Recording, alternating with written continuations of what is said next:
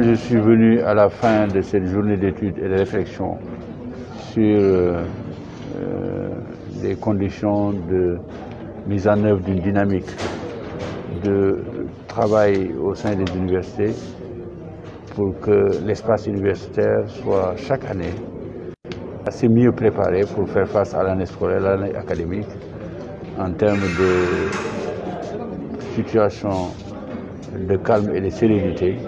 Ça a été engagé par toutes les amicales des universités de Dakar, de Saint-Louis, en tout cas la plupart des représentants de ces amicales, ces représentants sont là. Moi, je suis arrivé à la fin de la journée avec beaucoup d'enthousiasme et j'ai écouté ce qu'ils ont dit et que pour aborder les crises à l'université, il faut changer de paradigme, euh, travailler comme les entreprises modernes le font, euh, évaluer les risques, anticiper sur les risques, anticiper donc sur l'avènement de crise. J'y suis venu parce que je suis un homme ouvert à la discussion, aux idées, et j'ai eu beaucoup de plaisir à échanger avec les étudiants du point de vue de la connaissance de la situation à l'université, mais également du point de la recherche de solutions pacifiques pour que toute possibilité de crise puisse être écartée par une démarche anticipative, mais également par la possibilité de mettre en place des mécanismes de dialogue qui permettent aux structures des étudiants euh, d'amorcer ce dialogue à la fois par les autorités académiques, les autorités qui gèrent les campus sociaux, mais également in fine, par les autorités gouvernementales. Il est vrai que ce n'est pas toujours des questions faciles, mais une fois qu'on instaure un dialogue permanent, la recherche de solutions pacifiques, on peut y arriver.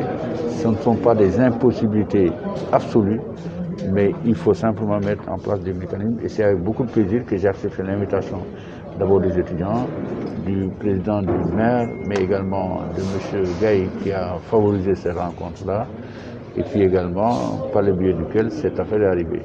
C'est que je n'ai pas été le seul à avoir été ici, il y a d'autres également collègues qui sont passés, puis qui ont échangé des idées dynamiques. C'était une discussion, un débat entre intellectuels, voilà, sur les moyens de crise, sur ce qu'on peut appeler dans l'université un changement de paradigme, comment l'envisager, en tout cas du point de vue de la participation des étudiants à la gestion de l'espace universitaire, mais également à la recherche de solutions pour toutes les crises qui peuvent se présenter dans l'espace universitaire.